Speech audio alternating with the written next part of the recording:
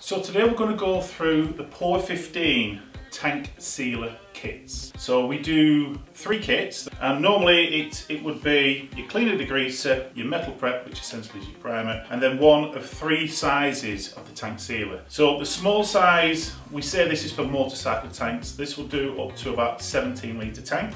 This is the small car size tank sealer, this will do up to 34 litre and then anything larger than that we're going on to the bigger tin which will cover about 68 litres. So with the kit you get either the large size, the middle size or the smaller size. You can also buy the cleaner degreaser in 3.78 litre along with the metal prep as well. So step one, if you've got a tank, if it's leaking, and we only really recommend resealing the tanks if they're actually leaking, if you've got pinholes. First of all, you've got to clean the tank, and I can't stress enough, you must get it clean. Now the cleaner degreaser is a water-based solution, but it's highly concentrated. You can actually dilute this up to 10 parts water to one part cleaner degreaser. I know it says on the tub one to one, that could be your first, if you will, your first cleaning process.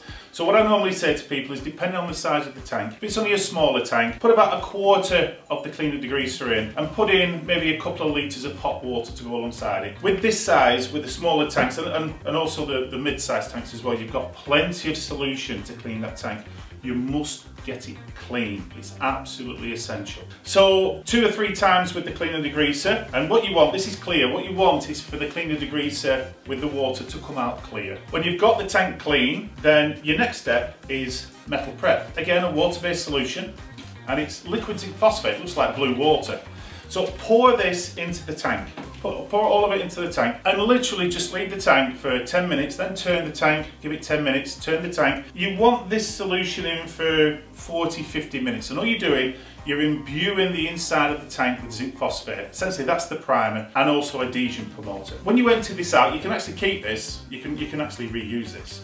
So once you've emptied the tank out, you must then flush the tank with lots of warm water. You've got to remove this. Give it a good sloshing out, good five, 10 minute sloshing out, tip that out. Then essential, you must dry the tank. It's got to be bone dry. Best way to do it normally is with a hair dryer. If you're going to use a heat gun, be careful because they can create quite a bit of heat but you must get some hot air in there. Cold air literally just blows moisture around, you must get it dry. And then when you've got the tank nice and dry, with your tank sealer, lid off, don't shake the tin, just take the lid off, give the contents a good stir, and literally just pour it into the tank. Now, doesn't matter which size you use, pour it in, and literally just turn the tank. Just keep turning the tank until you get a nice even coating on the inside of the tank. It's uh, extremely resistant to ethanol. It's been tested above E10, this stuff, so it is extremely durable.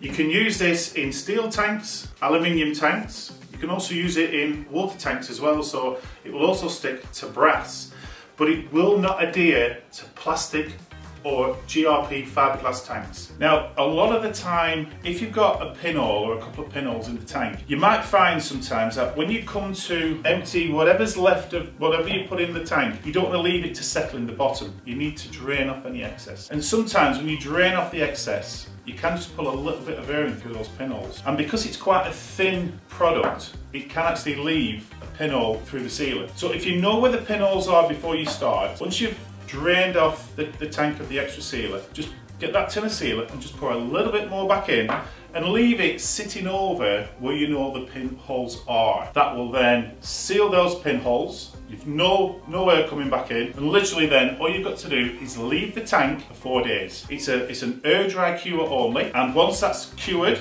and it's dried through, you've got a brand new tank.